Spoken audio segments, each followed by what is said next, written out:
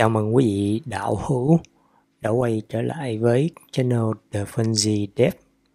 Đây là video thứ tư trong cái series dạy lập trình Go căn bản. Và để bắt đầu cho video này, thì chúng ta sẽ quay lại một chút xíu về cái video trước. Video trước thì mình đã nói về, mình đã cùng các đạo hữu tìm hiểu về custom type và receiver function. À, bây giờ là mình lại đi trong cái video này mình lại đi lui về sâu xa xa hơn xíu nữa. Là mình sẽ tìm hiểu lại về slide. À, slide là cái mảng á. Thì tất nhiên slide nó bắt đầu có index bắt đầu phải là từ không. Nghĩa là mảng bắt đầu index từ không. Không một hai ba bốn nó nó phải là như vậy. Đứa nào mà nói nói index từ một thì bắn bỏ. Ha. À, nhiều bạn sẽ thắc mắc là ồ tại sao mấy cái bài trước đã nói tới custom rồi function tùm lum hết? Rồi tự nhiên bài hôm nay lại quay ngược lại về nói lại cái kiểu dữ liệu căn bản là slide. Lộn xộn quá vậy. Thì thì mình xin trả lời là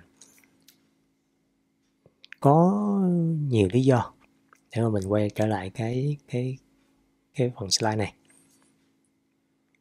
Nhưng mà cái lý do quan trọng nhất đó, nó vẫn là tại vì video này của tôi tôi thích làm gì tôi làm làm gì được tôi.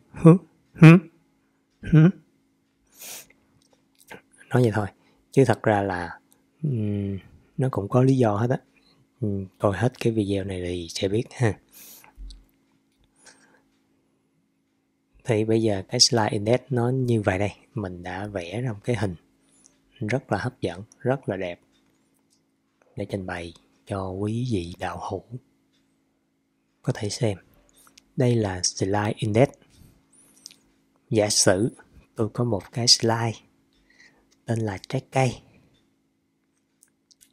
Trái cây trái cây. Một dịch này nên ăn nhiều trái cây nha các bạn nhất là những loại mà có vitamin C. À, thì nó sẽ tăng cường sức đề kháng rất là tốt cho sức khỏe. Vậy thì tôi à, sẽ đặt một cái slide trái cây này. Nó có bốn loại trái cây là cam cam nhiều vitamin C nè quýt cũng nhiều vitamin C nè bưởi cũng vitamin C luôn. Còn dưa hấu thì nó bự. Đó. Các bạn trái cây. Toàn là trái cây. À. giữa đêm mà cứ nhắc trái cây với lại cam, quýt với bưởi. Làm mình thèm vợ quá chừng. Muốn chui vào phòng với vợ ghê đó để ờ, mà có thể nhờ vợ cắt trái cây cho ăn đó mà. Rồi, thôi, đừng có nói nhảm nữa. Bây giờ quay lại nè. Thì cái index mình sẽ ghét ra như thế này đây. Thì ví dụ như mình cần lấy cái item đầu tiên trong cái mảng này, thì mình sẽ là index không? Và mình viết đây, trái cây mở ngoặc vuông ra không? Thì giá trị của nó sẽ là trái cam. Cam cam này không biết là cam gì không biết có dừa tay không. Rồi. Ví dụ như mà mình lại muốn lấy cái trái cuối cùng là cái trái dưa hấu đó thì mình điểm nè. À, không bắt đầu từ không. Một hai ba. Đấy thì cái index nó là số 3 vậy thì trái cây mở ngoặc vuông ra ba. Nó sẽ là dưa hấu. Dưa hấu này thì có hai loại. À, dưa hấu tròn và dưa hấu dài. Thì không biết à, quý vị à, thích thích cái cái cái loại là tròn hay là dài ha?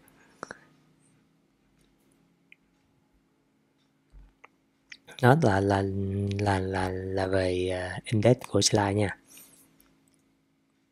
rồi thì tại sao mình lại phải quay về cái vấn đề này? À, thì tại vì bây giờ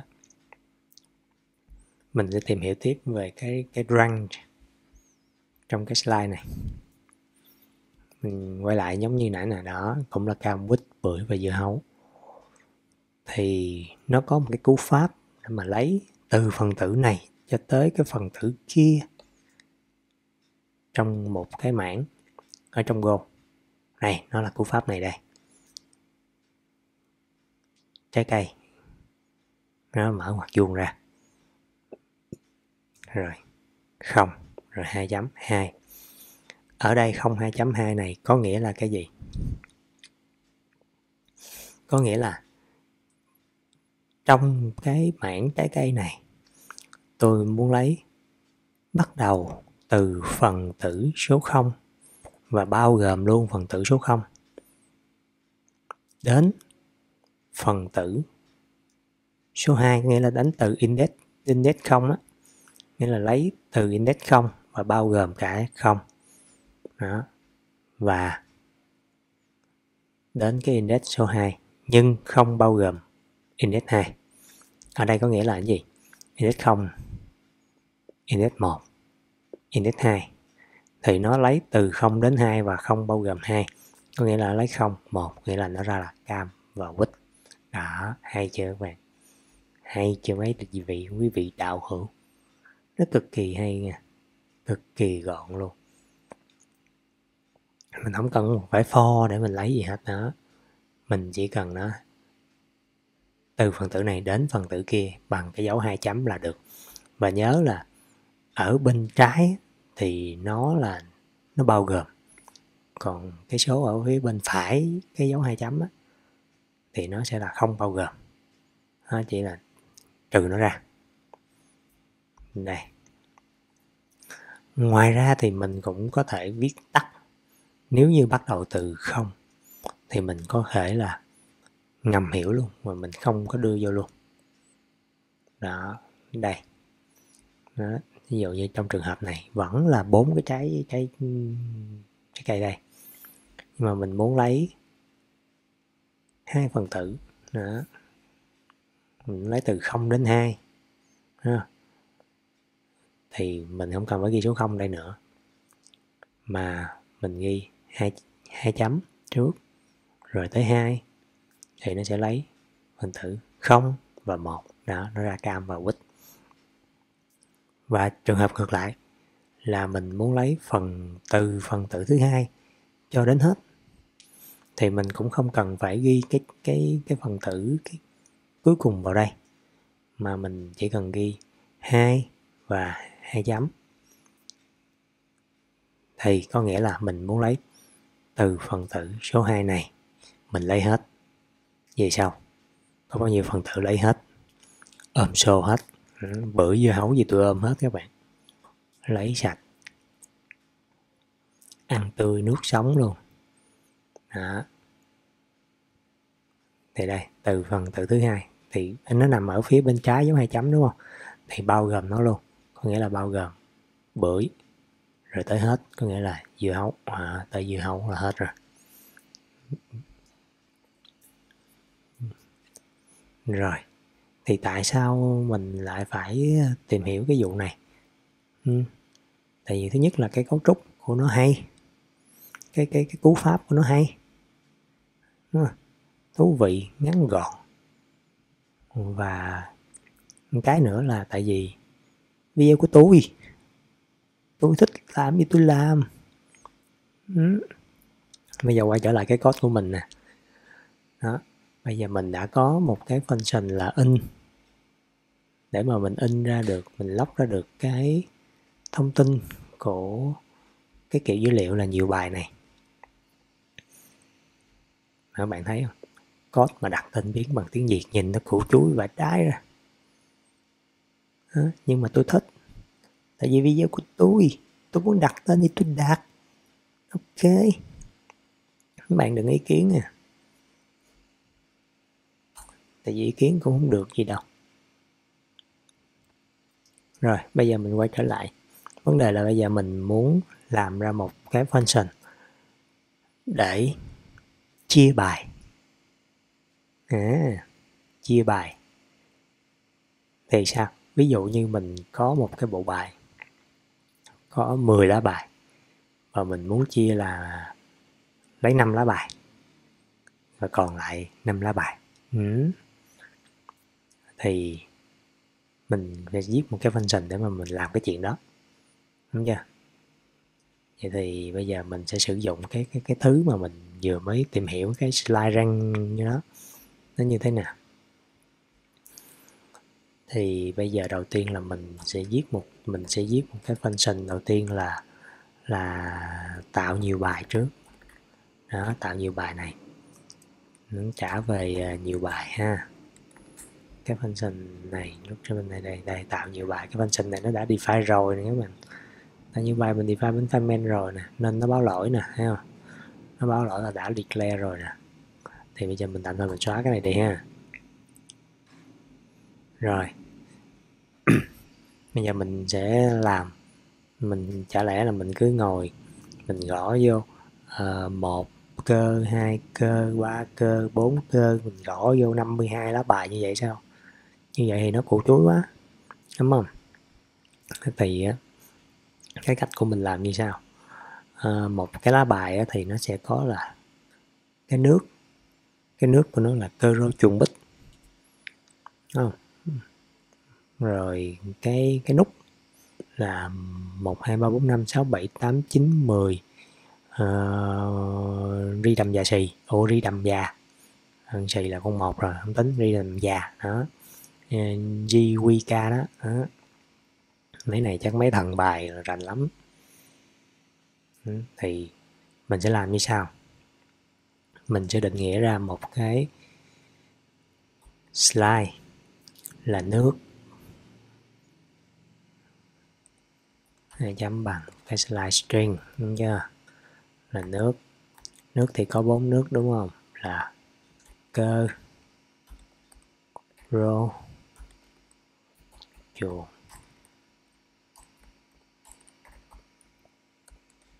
Bích. Đó. Và nút.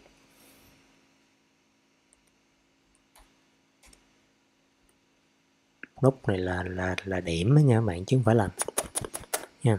Nút là điểm á. Nó cũng là string. Chưa? Thì uh, khai báo là à, một. Rồi hai. Rồi ba. Rồi các bạn có thể rảnh thì khai báo hết cho tới k luôn cũng được. À, ha đây ờ, tôi lười lắm. Nên nhiêu đây đủ demo rồi. Ha. Vậy thì làm sao đây?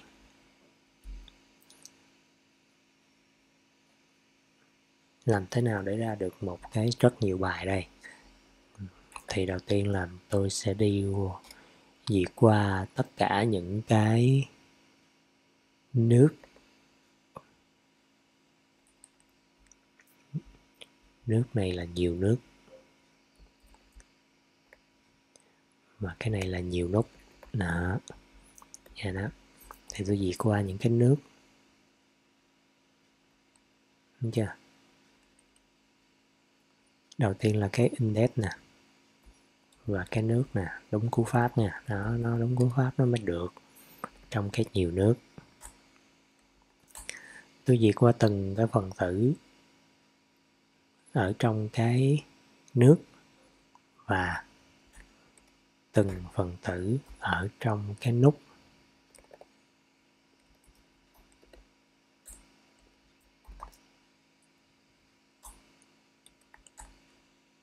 Ừ. thì cứ mỗi cái thằng này cứ ứng với mỗi thằng nước này thì tôi sẽ kết hợp với một cái nút để ra một cái lá bài một cái string. Là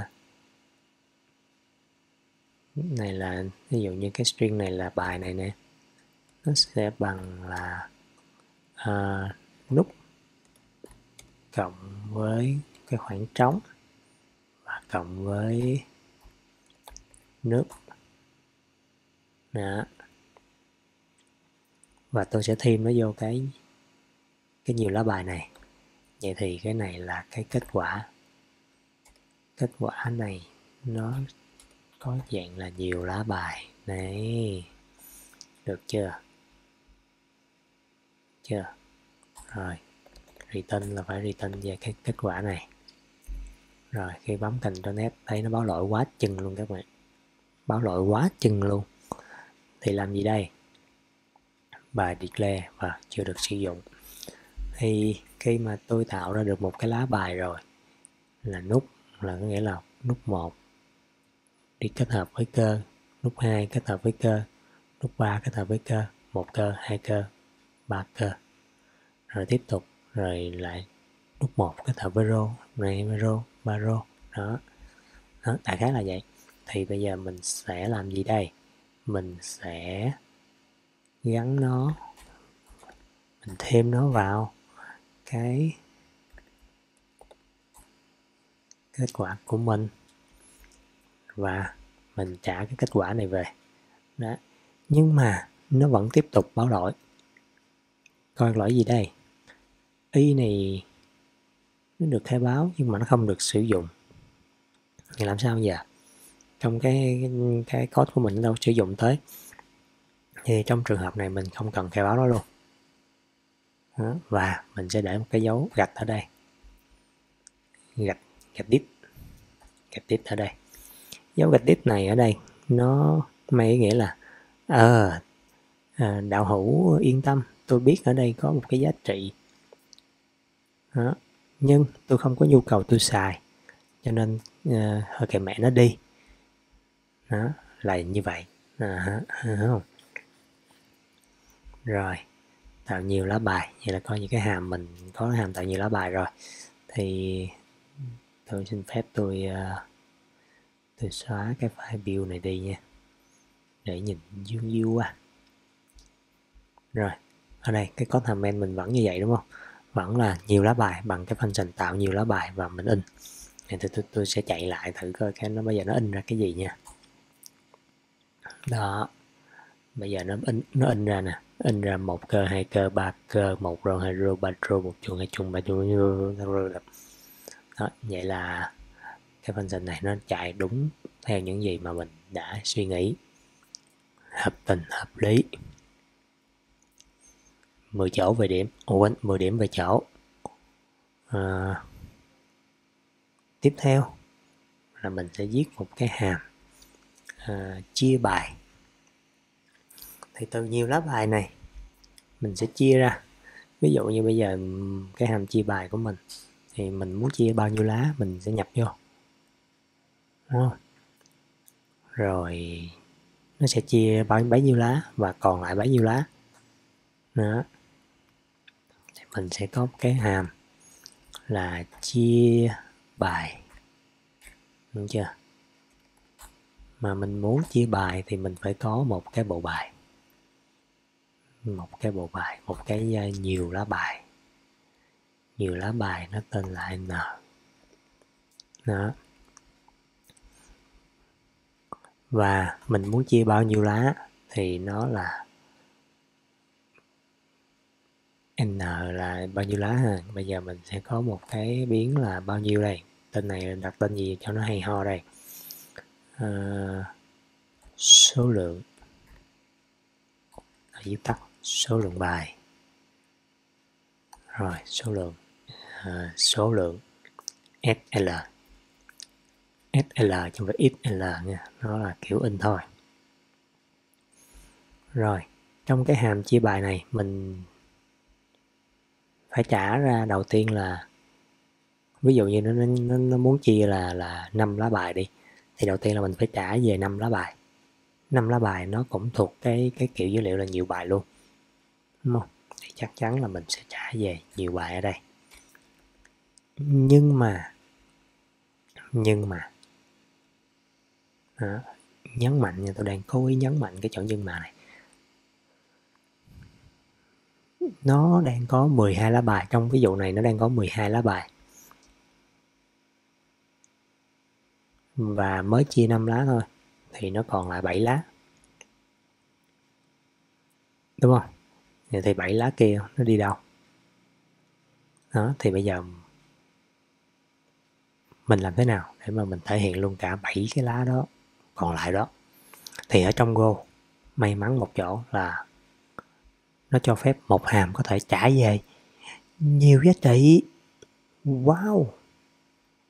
Tuyệt vời. Go number one. Có nghĩa là một hàm nó có thể return được về nhiều giá trị chứ không phải là chỉ chỉ một giá trị. Giống như uh, những cái cái cái ừ, một vài cái ngôn ngữ khác. Đó. như trường hợp này. Đó. Ví dụ đây đây tôi ví dụ cho các bạn coi đây nghĩa là một cái hàm nó trả về hai số in. Thì ngay cái chỗ return value cái kiểu, cái cái kiểu dữ liệu trả về này nè, nó, thay vì nó sẽ có hai cái số in ở đây, mở ngoặc, đóng ngoặc, hai cái số in ở đây, và ở đây nó return về được hai con số 1 và 2 đó. Golang nó tiên tiến vậy đó các bạn. Mày hỏi sao mình ta không thích? Chết mê, chết mệt mê Golang còn hơn mê giờ hơn nữa thì các bạn. Các bạn thấy không? Giờ là 12 giờ đêm rồi mà tôi còn ngồi để tôi cót vô lăng, chứ không phải là tôi chơi với vợ tôi là các bạn đã hiểu đam mê như thế nào nên các bạn thấy mà mình nói ờ, vui, hay ờ, hữu ích, thì các bạn cứ comment bên dưới video cho mình nha rồi sau đó là đừng có ngại ngần gì hết, bấm subscribe, bấm cái chuông notification, bấm like video rồi bấm share cho bạn bè làm hết tất cả mọi thứ. Ừ. Đừng có ngại ngùng gì hết, mạnh dạn lên, đàn ông mà. Đàn bà cũng được, đàn gì cũng được, miễn cứ bấm subscribe, bấm like là được. Đó. Rồi, bây giờ mình quay lại, rồi mình sẽ trả về hai cái giá trị nhiều bài. Cái nhiều bài thứ nhất là cái cái số bài mà muốn chia. Cái thứ hai là chính là cái cái số bài còn lại. Thì bây giờ đấy bây giờ mới đúng là cái lúc mà mà gọi là hay hay hay ho nè. À không đang dịch đừng hay ho. À, cái lúc mà hay thôi không có ho hay thôi. Trong cái trong cái ngôn ngữ này. Thì đầu tiên mình sẽ trả về. Cái anh nhiều bài n này, đó mà mình muốn lấy từ đầu cho tới cái cái cái số lượng này. Và cái thằng thứ hai là bắt đầu lấy từ cái số lượng này cho tới hết. Nó hay chưa? Các bạn có hiểu gì chưa? Có hiểu được khúc này không? Giải thích nha. Giả sử khúc này tôi nhập vô số đây là 5 giả sử cái này là 5 à, cái STL này bằng 5 đó, giả sử là ta đang ví dụ cái STL này bằng 5 thì ở đây á, nó sẽ là đầu tiên sẽ là N nè. Rồi 2.5 và cái thằng sau á, nó sẽ là N nè. Rồi 5 2 chấm đúng chưa? Vậy thì thằng này nó đồng nghĩa với cái việc gì các bạn? Không nè, một nè, hai nè, ba nè, bốn nè. Đó. Nó đủ 5 phần tử luôn. Đúng chưa? Lấy từ net không, một, hai, ba, bốn là nó tới năm, là nó có 5 phần tử. Tại vì nó nằm ở bên tay phải thì nó không bao gồm cái thằng số 5 lại trừ số 5 ra thì chỉ lấy tới index số 4 thôi là lấy được Nam anh. Còn ở này là nó lấy tới hết từ cái index index 5 index 5 tới hết. Đó, ví dụ, đúng không? Rồi, các bạn đã hiểu được lúc này chưa nè? Đó. Bây giờ mình thử chạy cái hàm này. Có cái hàm này, chạy thử nha rồi mình có nhiều lá bài rồi đúng không các bạn? Mình không có in nó ra nữa. Mà mình sẽ dùng cái hàm chia bài. Mình đưa nhiều lá bài vào. Và mình muốn chia là bốn lá thôi. Bốn lá thôi. Và ở đây là uh, bài 1 và cái này là mình lấy cái giá trị trả về của cái hàm chia bài này các bạn, và bài còn lại. Đó. Rồi sau đó mình lấy bài 1 mình in ra. Đó. Tại vì bài 1 này nó cũng là cái kiểu giá trị nhiều bài, nên nó cũng có thể gọi hàm in và bài con lai bài con lai. In luôn. Rồi vậy thì mình sẽ mạnh dạn dự đoán là bài 1 nó sẽ in ra là một cơ hai cơ ba cơ tới đến một rô. Đấy, một rô. Ha còn à, bài còn lại thì từ hai rô trở đi. Đó, đó là mình mình bấm quẻ mình tiên đoán như vậy. Còn biết đúng hay là không? Mình chạy thử mình mới biết. Đây thấy chưa? Thì đúng như cái quẻ tôi bấm ra. Một cơ hai cơ ba cơ một rô. Đó chính là giá trị của bài 1 và bài còn lại thì nó chính là những cái sơ cái, cái lá còn lại. Đó. Như vậy là mình đã hoàn thành xong cái cái cái hàm chia bài. À, thì có bạn sẽ thắc mắc là tại sao mình không làm nó giống như là một cái receiver function của cái nhiều bài luôn mà lại lại làm cái hàm rồi truyền vô vô. Truyền một cái cái cái biến nhiều bài vô như vậy. Thì thật ra trong trường hợp này nó vẫn chạy được và cái function này nó vẫn đúng không có gì sai hết. Các bạn bạn đã có một cái thể hiện ờ, nhiều bài rồi một cái instant nhiều bài rồi thì bạn lấy nhiều bài chấm chia bài hay là chia bài rồi bỏ nhiều bài vô rồi chia. À, nó đều như nhau cả không khác biệt nhau là mấy. Ừ. thì các bạn thích làm như thế nào làm thôi. Ở đây à, là channel của mình, video của mình, project của mình, code của mình. Nên mình thích làm gì mình làm. Ok ok chứ các bạn?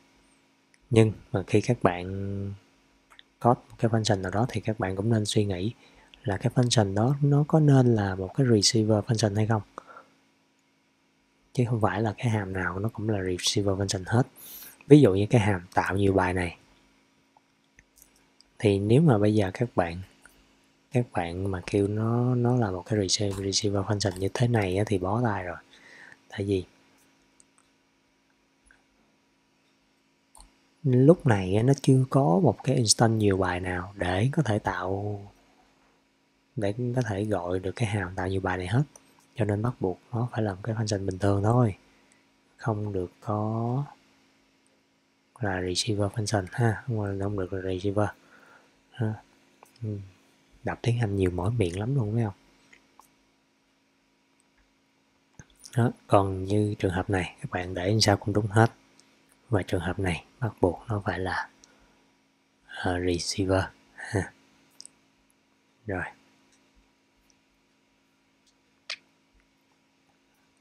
ok. Uhm, video này tạm thời mình làm tới đây thôi. Xin chào và hẹn gặp lại các bạn ở video sau. Mình sẽ tiếp tục tìm hiểu thêm vài thứ hay ho về Golang nữa. Hẹn gặp lại ở video kế tiếp.